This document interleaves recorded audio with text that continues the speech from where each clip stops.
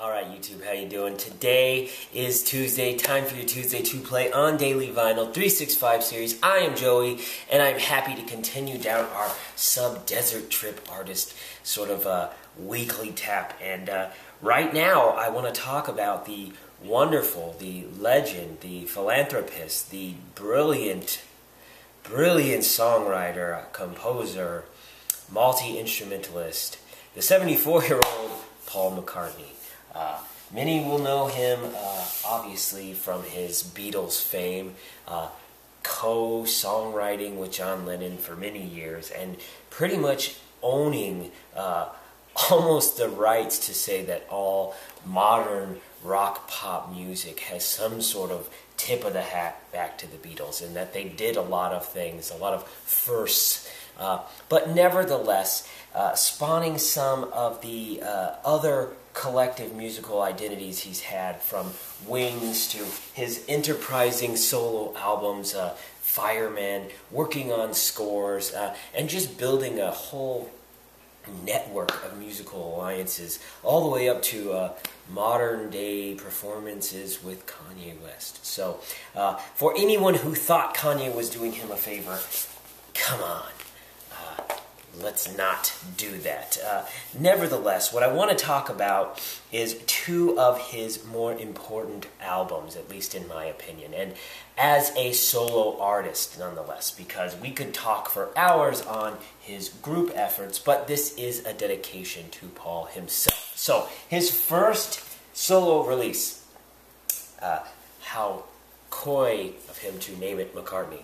Uh, Obviously, this is the back, a cover taken by his then wife, the lovely Linda, if it were, who actually took all of the photos on his subsequent 27 album releases uh, and uh, does some guest vocaling. Uh, this album sort of an inward and outward reflection of the times, and I would say a little bit of the angst that he was dealing with uh, as the Beatles were coming to an end. And I know that there was some heartbreak between him and the members of the Beatles in the release time of this album and there the like. But this album came out in 1970, right around the time the announcement of this album came out, the announcement of the breaking of the Beatles uh, had to follow suit. Uh, some great pictures of Paul here.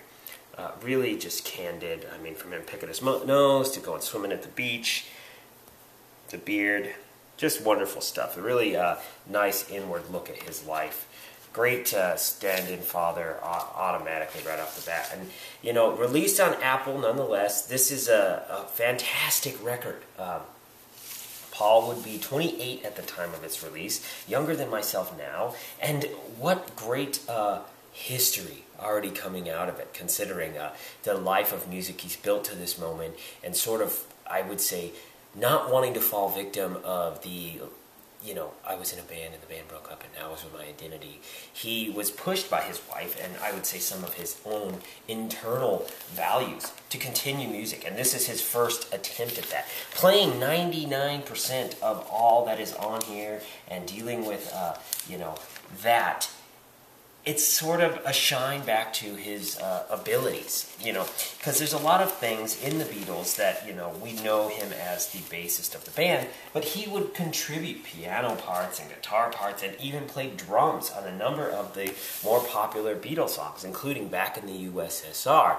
Uh, but you can hear it on this album, him playing a lot of the uh, various instruments. And I think that that's really cool because this album, while being a moderately identifiable as pop record, uh, includes a lot of everything. Uh, you've got some rock and blues guitar on the Valentine Day track.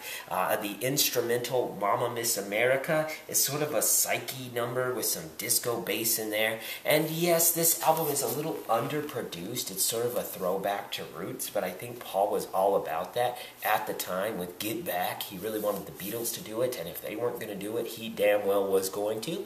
And I think that that is okay. I sort of like it for that, you know? You talk about overproduction or sort of studio technique. The Beatles never really toured on any of their later work, uh, and I assume that's because they probably couldn't do it live the same way they did in studio. And, uh, you know, whatever argument people have about that, I think this was Paul saying, you know what, I'm just going to make music that I can play, and I want to do it, and it's going to be simple, and let's just get it out there. Let's not overthink it anymore. And I think that that comes through. Uh, he really just puts his heart into it. And I think uh, the song Junk is probably the one that's most familiar to uh, anybody who's looking for that Beatles type sound of Paul in there. But, uh, you know, Man We Was Lonely, last recorded track on there is a little bit up tempo for a song that sort of deals with negative terms. But obviously, the most popularized song of the album is Maybe I'm Amazed, which um, I have to admit, it, it's just so well written. Uh, lyrically, vocally, uh, I, I, would say, sort of showing Paul's uh, abilities as a songwriter so heightened on that one. And uh, a little demonstration of his uh, love affair with Little Richard in the vocals, stretching from those nice vibratos to those almost high pitched, you know, little moments. And, and I love it. And I love that he takes his influences and he rearranges them and he, he becomes a true uh, original. And just for what it's worth, as his first release, as his first non Beatles release, I still think that it's a powerful record and it's one that I still enjoy spinning. So if you've never listened to McCartney, from McCartney, uh, give it a go. It's, uh, you know, 46 years now. I'm sure uh, come 2020 he'll probably have a special edition for us, 50 year anniversary, something like that, maybe even a tour. But nonetheless, let's move ahead uh, to another album that I want to talk about. This is chaos and creation in the backyard. I really love this photo on here. Uh, it is of him as a boy, apparently taken by his brother, uh, and he's sitting in the backyard playing acoustic guitar, uh, through these windows. Uh, and he, he looks like he might be 15 or 16 here in the picture, but what a great uh, ode to sort of his lifetime. And, and this album um, came out in 2005. Paul was 63.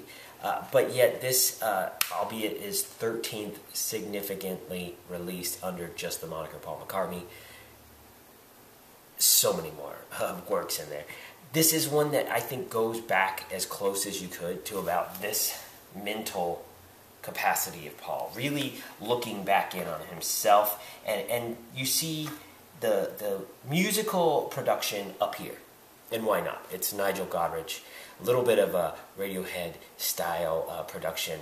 You know that's what he's known for going into this record, but his lyrically coming back in and, and sort of writing uh, songs from a reflective state of mind, and I think applicably so at that point in your life when you're 63 and you've devoted your entire self to, to music over and over and over again and, and building songs and sharing yourself with the world, it, it, where can you go to be able to turn inward and come back to yourself and still come up with something fresh is a huge totem for him. And, I think it's something to be said that he didn't do the production himself. He had invited Nigel in on this one, and you could sort of hear some of the tonal qualities in there, but I think it was smart, especially around that time, 2005. I don't know if there was a bigger alternative band than Radiohead. Uh, bands like Coldplay or Keane and all of that sort of British sound coming out, and I think it, it played well into the market, but it also makes the album. Uh, you know, a little bit more uh, modern, while he sort of does a reflection of all of the sounds you would have come to know throughout his career in this record. Uh, definitely moments that have that Beatles sound, that Wings sound, uh, just the Paul McCartney sound, if you will, which he owns because that's him. And like this album, he does play a whole crapload of the instruments on there, uh, even in a couple of songs playing all of the instruments, which I think is brilliantly said. And it was his last record at EMI before a short stint where he did some cross promotional stuff with uh, Starbucks and then going back to Capitol, which I think Capitol is the appropriate place for someone like Paul McCartney.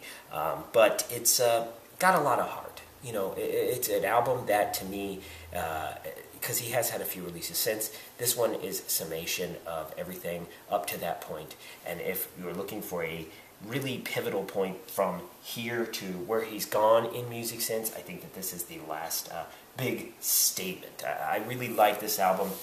It's one I've listened to a number of times, and it's not just my own biases with, with Nigel, whatever have you, but it's just one that I think warrants, uh, you know,